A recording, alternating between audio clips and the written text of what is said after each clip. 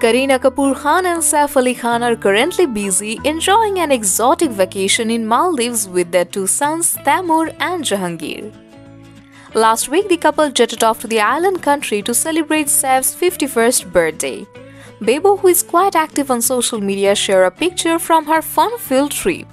The Veere Di Wedding actress flaunted her glowing skin while striking a pose for the camera. Kareena slipped into a black swimsuit while enjoying a dreamy vacation in Maldives. She posted the photo on her Instagram story along with the caption Beach Bum. Saifeena, as fondly called by fans, are staying at a private resort in Maldives according to a report in Bombay Times. The Jab We Met star penned a heartfelt post for her husband on his 51st birthday on social media. She shared two adorable photos from their vacation while wishing Saif. Kareena's first photo also featured Taimur Ali Khan and her newborn son Jahangir Ali Khan.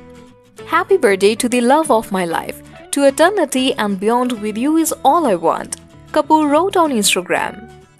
Kareena has donned the hat of a producer for an upcoming thriller which is based on a real life incident. The Good News star has joined hands with Ekta Kapoor and Hansal Mehta for the film.